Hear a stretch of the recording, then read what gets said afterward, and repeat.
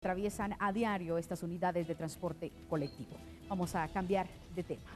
Autoridades de la Cámara de Comercio Guatemalteco-Americana dijeron que es importante retomar la agenda económica en el país, la cual durante el año no ha sido tomada en cuenta en los organismos ejecutivo y legislativo, ya que el Congreso no ha pasado las leyes como la de Maquila para que el 31 de diciembre no expiren los beneficios de este sector en las zonas francas y zona libre de industria y comercio, puesto que ponen en riesgo cientos de miles de empleos. La institución destacó que derivado de ello se está perdiendo competitividad frente a El Salvador, Honduras, Nicaragua y el resto de la región latinoamericana. Esperan con el nuevo gobierno exista interés en el Congreso para pasar esta iniciativa con el objetivo de que la agenda económica pueda avanzar este año.